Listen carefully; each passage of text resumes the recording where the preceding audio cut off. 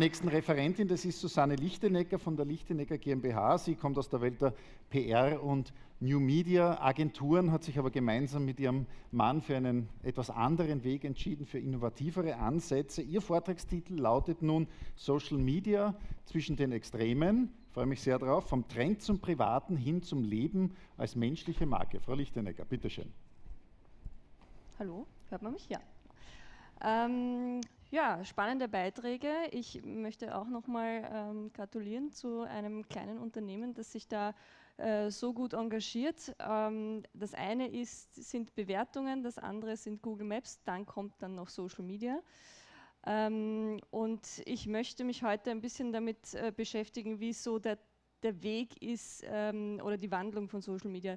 Ich glaube, wir brauchen nicht mehr darüber reden, wer hier einen Facebook-Account hat. Ich nehme an, das werden schon einige sein. Ich frage lieber, wer hat keinen WhatsApp-Account? Oh, doch ein paar. Hui. Dann werdet ihr alle auf der Strecke bleiben. Nein, stimmt nicht. Äh, ich habe ein paar Zahlen mit, die vielleicht noch ein bisschen interessant sind. Ähm, ich freue mich auch, äh, dass Social Media hier so stark eingebunden ist, wenn ich davon spreche, vom Trend zum Privaten hin zum Leben als menschliche Marke. Ein paar private Momente hatten wir gerade auf der Wall. Ich weiß nicht, wer es mitbekommen hat. Ähm, ja. Wer hat heute bereits etwas Privates auf Facebook gepostet? Wer, wer kann das von sich behaupten? Okay, doch ein paar.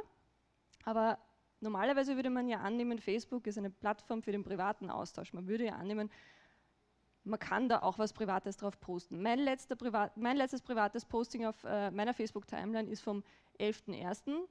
Ähm, ich habe extra zurückgescrollt. Das ist nicht mein letztes Facebook-Posting, aber das ist mein letztes privates Facebook-Posting. Also wo ich wirklich sage, da habe ich jetzt was Intimes, also intim. Ich war geistig umnebelt von einer Krankheit und konnte es da anscheinend nicht lassen, mich bemitleiden zu lassen. Aber ansonsten muss ich da auch nochmal weitergehen. Das heißt, ähm, früher war das ganz anders. Wenn man mich vor zwei, drei, vier Jahren gefragt hätte, wann wäre mein letztes privates Posting auf meiner Facebook-Timeline gewesen, dann wäre es natürlich heute wahrscheinlich gewesen. Ja? Also sofort in dem Moment oder zumindest gestern. Ähm, jetzt ist es nicht mehr so. Jetzt, was passiert da so auf meiner Timeline? Jetzt sind sowas wie äh, Fotos, auf denen ich getaggt wurde von einem Verein, den ich ähm, mitgegründet habe. Ähm, das heißt Digitales und Frauen. Es gibt so tagesaktuelle Themen, das war so um den David Bowie-Tod und natürlich das Elterndasein, das einem irgendwie als Mutter auch immer wieder beschäftigt und wo, wo es vielleicht Artikel oder irgendwelche nette Dinge gibt. Ja. Das heißt, wenn ich ein Medium wäre, würde ich mich wahrscheinlich mit diesen drei Themen beschäftigen. Wenn man mir auf Facebook folgt, wird man diesen drei Themen irgendwie unterkommen. Man wird aber wenig Privates über mich mehr finden. Was heißt das? Wir nutzen Social Media mittlerweile anders als noch vor ein paar Jahren. Wir sind uns alle durch die, es ist überall durch die Medien gegangen. Ähm, es gibt Privatsphäre-Lücken, die, ähm, die es bei Facebook gibt. Wir sind die NSA, wir brauchen ja gar nicht davon anfangen. Ja? Also eigentlich alles, was wir posten, ist nicht mehr privat. Deswegen sind wir da sehr, sehr vorsichtig. Ähm, und gleichzeitig sind wir natürlich alle zu kleinen Medien geworden und achten darauf auf unsere Reputation. Das heißt, ich meine, früher hatte man seine, keine Ahnung, 20 oder man startet los und hat so seine 20, 30, 50 Freunde. Mittlerweile sind es dann vielleicht schon 200. Das heißt, man hat schon ein gewisses Bild, das man auch von sich nach außen steuern möchte. Ja? Es ist alles, was ich nach außen poste, wird von jemandem wahrgenommen und man möchte ja was da zurückbekommen, nämlich Likes oder Kommentare. Ja? Man möchte geliebt gehabt werden und das Ganze ähm, spielt sich ja unbewusst in einem ab und deswegen wird man automatisch zu einem kleinen Medium. Und wir sind, ähm, habe ich schon erwähnt, sensibilisiert, sensibilisiert, was das Thema Privatsphäre und Datenschutz angeht. Wie sieht die neue Social-Media-Nutzung aus? Ich habe vorhin schon erwähnt, äh, Digitales und Frauen. Wir haben, ich habe einen Verein mitbegründet, der nennt sich Digitalista zur Vernetzung von Frauen in der Digitalbranche.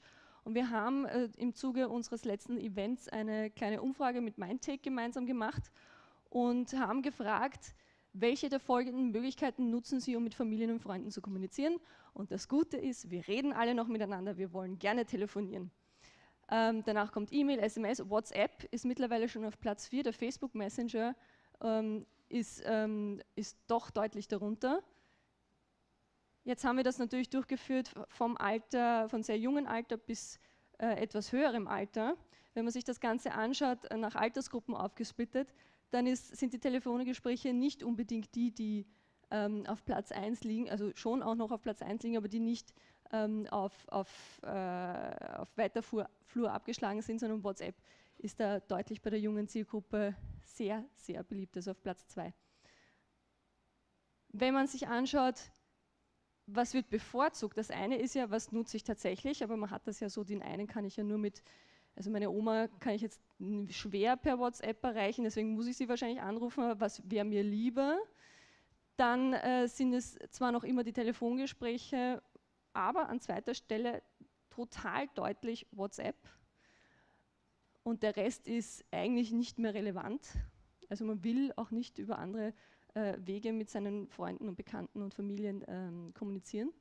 Und wenn man sich die Telefongespräche und WhatsApp dann nochmal genauer anschaut, dann sieht man da, dass äh, unter der jungen Zielgruppe die Telefongespräche auch äh, viel weniger relevant sind als WhatsApp. Das heißt, wir, der, die Nutzung geht verstärkt weg von persönlichen Gesprächen zu schriftlich in Messages. Ja, ja, Messages. Der Messenger ist der Ort, wo, ähm, oder die, die, Messenger, es gibt ja viele und WhatsApp ist halt sehr, sehr stark vertreten, aber es ist ja auch hier sehr, sehr stark vertreten und auch in, im, im, westlichen Teil der Welt. Es gibt äh, in Asien andere Messenger, die zum Beispiel sehr stark sind. Die, da, dort ist der Ort, wo Gespräche stattfinden. Früher hat man, oder vor einigen Jahren waren es noch, war es noch Facebook allgemein ähm, als der Ort, wo man sagte, da finden die digitalen Gespräche statt. Jetzt sind es definitiv die Messenger. Und wer kennt das? Also ich persönlich habe meinen, ähm, ich habe verschiedene Messenger im Einsatz. Ich habe Slack, ich habe den Facebook Messenger, ich habe äh, WhatsApp etc., habe überall meine Gruppen und überlege sehr, sehr genau, mit wem ich was austausche und da sind die Gespräche viel, viel privater, als sie früher jemals waren. Das heißt, äh, es geht weg vom öffentlichen Austausch, es geht hin wieder vermehrt zu privaten Gesprächen. Finde ich persönlich sehr angenehm und ähm, eine schöne Entwicklung. Heißt, was heißt das? Ähm, diese Gruppenchats sind eben sehr stark. Das heißt, es gibt Themen oder Freundeskreise, die man hat. Bei WhatsApp kann man ja Gruppen erstellen ähm, ich habe ähm, einen für den Verein zum Beispiel, ich habe einen für, ähm, mit, mit einer Mütterrunde, ich habe einen ähm, mit äh, meiner Familie, wo wir einen ganzen äh, Skiurlaub organisieren, etc. Das heißt, hier geht es um Themen und um Freundeskreise. Und der Weg, den diese ganzen Messenger gehen oder gehen werden, ist, ähm, ist zur Integration von weiteren Services. Also Facebook hat mit, dem, hat mit dem Messenger ja ganz klar die Strategie und möchte dorthin gehen, wo WeChat schon ist. Und ich weiß nicht, wem hier sagt WeChat etwas? Okay, ein paar Leuten. Das ist quasi der asiatische bzw. chinesische Messenger schlechthin. Dort wird nur das genutzt und das ist so ein, so ein One-Stop-Shop. Das heißt, äh, man kann dort all das machen, was ich gerade über Messenger erzählt habe und sich per Messenger eine Pizza bestellen, ein Hotel buchen. Es werden sogar Gerichtsverhandlungen. Es gab jetzt in China einen, einen Fall, wo eine Gerichtsverhandlung über WeChat, also war so ein kleineres Delikt und man konnte dem nicht zumuten, dass der jetzt irgendwie ins Gericht kommt. Und deswegen wurde die ganze Gerichtsverhandlung über WeChat abgehalten. Äh, Sprich, ähm, die Services werden dort integriert und ähm, man überlegt, also ähnliche Machtpositionen wie Google bei gewissen Su bei Suchanfragen bei diesen Themen hat, hat WeChat im, äh, im asiatischen Raum für den Bereich Messenger und natürlich auch für den Bereich Kundenservice. Das heißt, Unternehmen werden sich in Zukunft überlegen äh, müssen, wie sie hier ein sinnvolles Angebot schaffen können, ähm, weil natürlich, äh, was das heißt, ist, dass viel Traffic, der, der auf äh, Plattformen äh, oder Social-Media-Kanälen passiert, sich immer mehr in kleineren Gruppen abspielt. Und in diese kleinen Gruppen habe ich natürlich einen schwi viel schwierigeren Zugang, beziehungsweise kriege ich vielleicht gar keinen, weil natürlich will ich auch nicht, dass in meiner privaten, äh, wir, wir organisieren den Skiurlaub-Gruppe, dann plötzlich irgendwelche Skiurlaub-Werbungen und so weiter auftauchen, weil das für mich in dem Moment nicht relevant ist. Oder vielleicht wäre es relevant, aber es wäre mir zu persönlich, es wäre ein Eingriff in, meine, in meinen persönlichen Raum und das hätte ich nicht gerne. Aber natürlich, wenn ein sinnvolles Service damit geboten werden würde, kann man sich schon überlegen, ähm, was das bedeutet. Also was es jetzt momentan gibt, sind Medienunternehmen, die sowas tun in Österreich, wie der Standard, die ein äh, WhatsApp-Service bieten. Aber ich glaube, wir sind da echt weit, weit, weit am Anfang, ähm, was dann noch kommen wird und Facebook wird natürlich auch seinen Teil mitreden wollen und Unternehmen dazu auffordern und selbst entwickeln, aber auch Unternehmen dazu auffordern, aktiv zu werden. Das ist die eine Seite vom privaten Teil hin zum Markenteil. Der Marke, die Marke ist das, ich habe schon gesagt, wir überlegen selber alle, was wir so posten, weil wir wollen alle ein gewisses Bild vermitteln. Und natürlich gibt es da zum Beispiel auch die Blogger, die das sehr, sehr stark und sehr, sehr gut tun. Und ähm, die produzieren mittlerweile hochprofessionellen Content, sei es im Food-Bereich, sei es im Fashion-Bereich, aber natürlich auch in vielen weiteren. Und das ist zum Beispiel ähm, die, die Sonja Petrowski von Fashion Tweet. Und das ist ein, ich meine, das schaut aus wie ein, ein Editorial-Foto in irgendeiner Zeitschrift, ist aber ein Foto, das für ihren Blog entstanden ist. Ähm, oder aber, und das gefällt mir besonders gut, ähm, es gibt in Österreich einfach Blogger, die da sehr motiviert sind, mit voller Leidenschaft rangehen und extrem hochwertigen Content produzieren. Das ist äh, der Fashion-Blogger Lionheaded, gemeinsam mit der Fashion Tweet. Ich lasse das kurz wirken. Turn you inside out and lick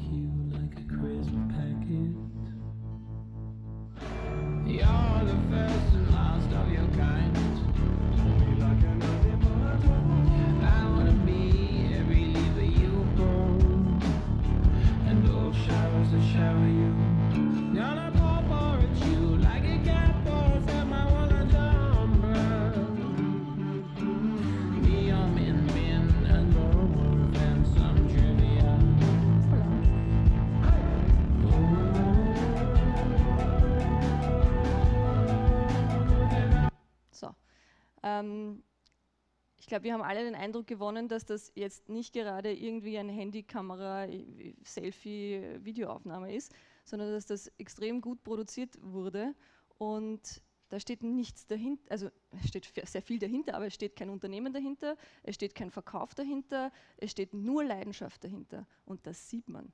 Und das ist etwas, wo meiner Meinung nach ähm, Unternehmen jetzt einen großen Aufholbedarf haben, ähm, sich da anzuschließen.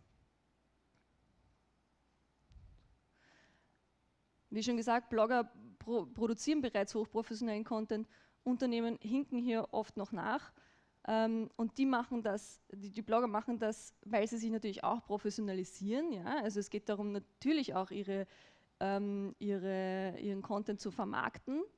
Aber im ersten Schritt geht es ihnen natürlich auch aus der Leidenschaft heraus. Also ich, in, in, dem Fall kenne ich die, die, die, die handelnden Personen und ähm, die Aussage ist ganz klar, ja, wir wollen einfach Fashion Blogging auf das nächste Level bringen. Also geht es wirklich um die Sache an sich selbst und um die Leidenschaft dahinter.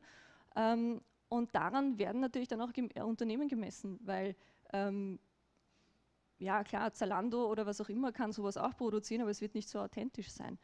Ähm, und die Leidenschaft muss man einfach auch leben. Und weil guter Content nicht oft nicht Unternehmenszweck ist, sondern der Unternehmenszweck ist einfach die Sache an sich, die man herstellt oder die man, die man anbietet, ähm, heißt das nicht, ähm, dass der Content, den man produziert, deswegen halbherzig sein darf. Er, muss nicht immer Hochglanz sein, das finde ich nicht, das ist, ähm, wäre die falsche Aussage. Er muss authentisch sein und authentisch ist er dann, wenn er mit Leidenschaft gemacht wird. Wie kann man dann mithalten? Das heißt, entweder investieren in guten Content, in hochwertigen Content oder aber kooperieren. Ja? Also eine Möglichkeit ist natürlich, sich mit Personen, die das schon tun, die das mit großer Leidenschaft tun, an die heranzutreten, um mit denen zu kooperieren.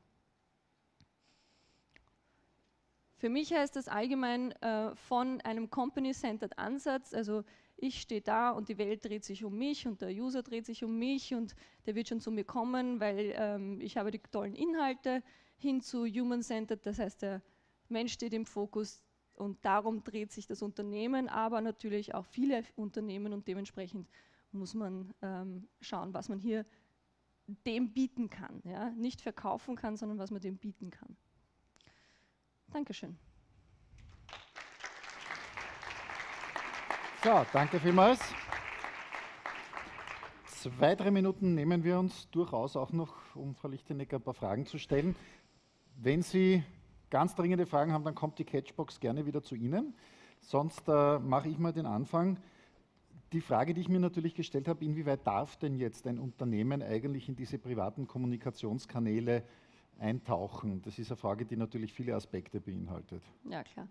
Ähm, also die dürfen ist äh, immer auf Basis der, der, Richtlinien, die die Plattform vorgibt und andererseits äh, sollte man sich immer die Frage stellen, was kann ich an Service bieten? Wie ich schon an dem Beispiel genannt oder das Beispiel genannt hatte meines eigenen Skiurlaubs, ähm, ich würde mich sehr gestört fühlen, wenn da in diese private Kommunikation jemand eindringt.